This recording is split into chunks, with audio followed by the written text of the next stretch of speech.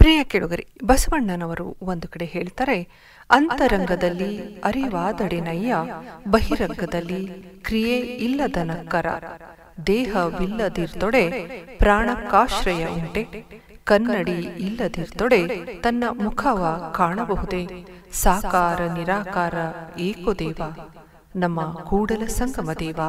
ಬಸವಣ್ಣನವರು ಹೇಳ್ತಾರೆ, ಅಂತರಂಗದಲ್ಲಿ ದೇವರ ಅರಿವಾದ ಮೇಲೂ ಬಹಿರಂಗದಲ್ಲಿ ಕ್ರಿಯೆ ಬೇಕು. ಹೇಗೆ ದೇಹವಿಲ್ಲದಿದ್ದರೆ ಪ್ರಾಣಕ್ಕೆ ಆಶ್ರಯವಿರುವುದಿಲ್ಲ, ಕನ್ನಡಿ ಇಲ್ಲದಿದ್ದರೆ ಮುಖ ಕಾಣುವುದಿಲ್ಲ, ಹಾಗೆ ಸಾಕಾರ ನಿರಾಕಾರ ದೇವರು ಒಬ್ಬನೇ ಎಂಬುವುದನ್ನು ವಿವರಿಸಿ ಜ್ಞಾನ ಮತ್ತು ಕ್ರಿಯೆ ಸಮವಾಗಿ ಸಾಗಬೇಕೆಂಬ ಸಮಸಮುಚ್ಚಯ ಸಿದ್ಧಾಂತವನ್ನು ಬಸವಣ್ಣನವರು ಈ ವಚನದ ಮೂಲಕ ವಿವರಿಸಿದ್ದಾರೆ.